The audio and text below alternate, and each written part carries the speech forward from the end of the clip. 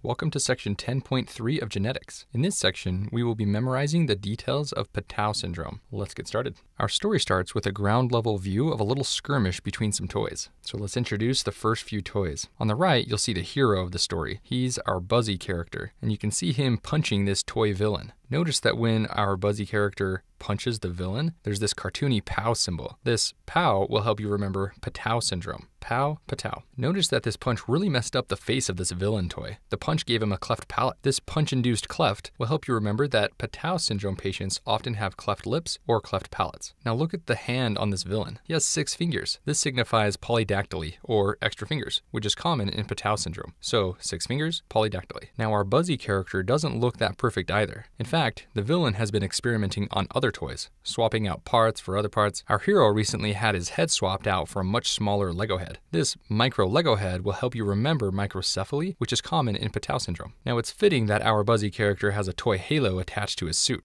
After all, he is the hero of our story. Anyways, the halo will help you remember that Patau syndrome patients often have holoprosencephaly. In holoprosencephaly, the forebrain fails to separate into two hemispheres. So, halo, holoprosencephaly. Now, our villain is a lover of all things dark and creepy, including Friday the 13th. He has taken a human's calendar and circled this ominous date. The fact that 13 is circled will help you remember that there is an extra chromosome 13 in Patau syndrome. In fact, Patau syndrome is also called trisomy 13. So Friday the 13th, trisomy 13. Remember how our hero got his head swapped out for a smaller Lego head? Well, he wasn't the only victim of this villain toy. Here is a potato toy strapped down and being tortured by a magnifying glass. See how the heat is burning a hole in his outermost layer of skin? Or at least, his outermost layer of plastic. Well, this looks like cutis aplasia. Cutis aplasia indicates that a portion of skin, or even bone sometimes, is missing. If you think of a hole of skin missing, like in our potato character, you can remember cutis aplasia in Patau syndrome. Here are two other victims who sympathize with the burning potato. Look at this cowgirl reach out with compassion. Unfortunately, she is sewn up to the cowboy. This must have happened recently because the villain was still holding the needle and thread in his six fingered hand right before he got punched and received his cleft palate. Anyways, the fact that these two toys are sewn up represents the meiotic non disjunction of chromosomes that leads to an extra chromosome 13. So conjoined toys for non disjunction. Our cowboy character is dealing with his own issues at the moment.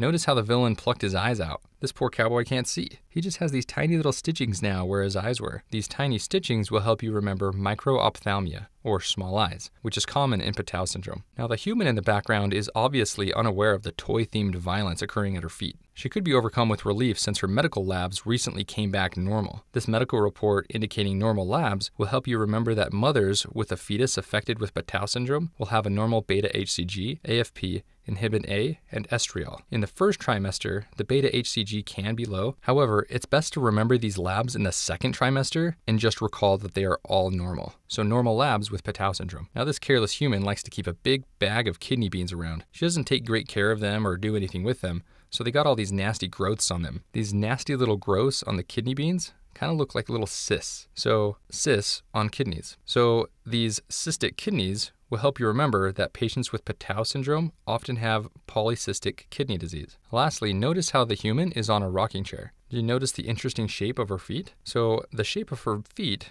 and the fact that she's on a rocking chair will help you remember that patients with Patau syndrome have rocker bottom feet, or feet shaped like rocking chairs. And with that, we have completed all the details of Patau syndrome.